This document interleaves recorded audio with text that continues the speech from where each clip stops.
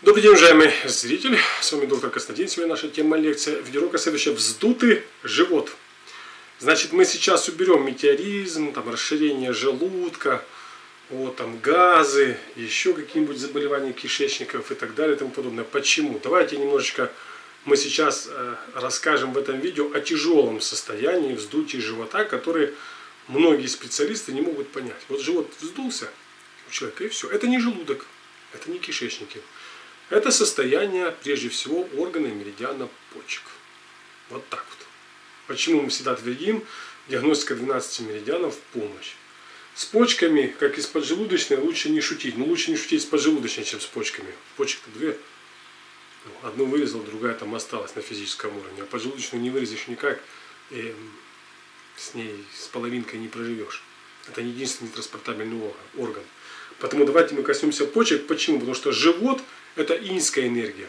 Спина – это янская энергия. Потому диагностика 12 меридианов при вздутии живота, либо при вздутом уже животе, при котором не, многие специалисты не могут определить э, состояние внутренних органов. Вроде бы человек сдает анализы, все хорошо, а живот-то вздутый. Потому в каком состоянии почки? Это первый ответ. Пожалуйста, внимательно смотрите, как простирается данный меридиан почек, вы меня поймете. Причем здесь мочевой пузырь? Ответ сам напрашивается, элемент воды – в нее входит меридиан мочевого пузыря и меридиан почек. И вот дисбаланс между меридианом мочевого пузыря и меридианом почек может привести, при, привести простите, к вздутию живота.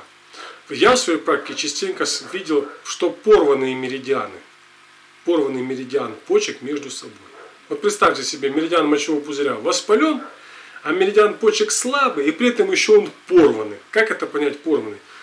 Внимательно смотрите мои лекции по это, виды, виды диагностики. Вы поймете, о чем я говорю. Допустим, правая ветка меридиана мочевого, то есть меридиана почек воспалена, а левая ветка слабая. В них нет баланса. Та ветка на, на себя тянет лямку, эта ветка на себя тянет лямку. Та вниз тянет, та вверх. Если мы будем рубашку, либо футболку, либо любую, скажем так, вещь тянуть вверх-вниз, кто-то должен уступить. Либо, в конце концов, мы порвем футболку либо рубашку.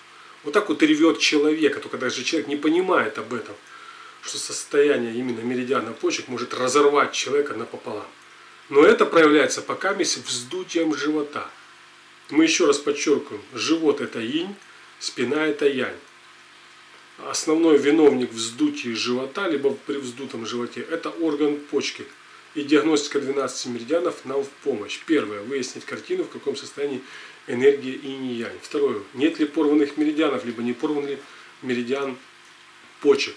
Третье, в каком состоянии почки и мочевой пузырь. Два меридиана, потому что они относятся к стихии, кинской стихии, к стихии воды. А водой все сделано Вселенной. Тут нужно знать, тут философски нужно подходить очень творчески. Поэтому, уважаемые зрители, вот зачем мы частенько говорим, говорили, будем утверждать и в постоянно наших лекциях будем твердить об этом, что диагностика 12 меридианов это важный аспект, да, потому что слепо, очень слепо можно подойти, помогая человеку при тех или иных заболеваниях. Не учесть какие-то нюансы будет глупо, неразумно, и лечение может затянуться на несколько десятилетий. Поверьте, в своей практике я встречал людей, которые мне правильно ставили диагнозы восточные философы, скажем так, иглотерапевты. Человек лечил неправильно себя с помощью акупунктурных точек. И это лечение ничего не приводило ни к какому улучшению, только к ухудшению. Вследствие чего этот дисбаланс инь-янь продолжал разрушать здоровье человека, либо физический мир человека.